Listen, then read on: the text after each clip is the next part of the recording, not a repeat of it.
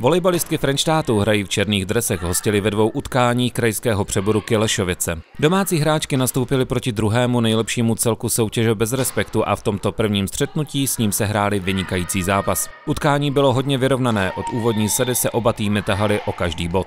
Kilešovice spoléhali na výborný servis a tvrdé smeče. Frenštátské volejbalistky však oplácely stejnou mincí. Například Šálková se často dokázala dostat přes bloky soupeřek. Při podání Kučerové šly domácí do vedení. Po jejím esu přidala další bod Sládečková. Šňůra pokračovala s mečí norské a Frenštát vedl až do koncovky setu.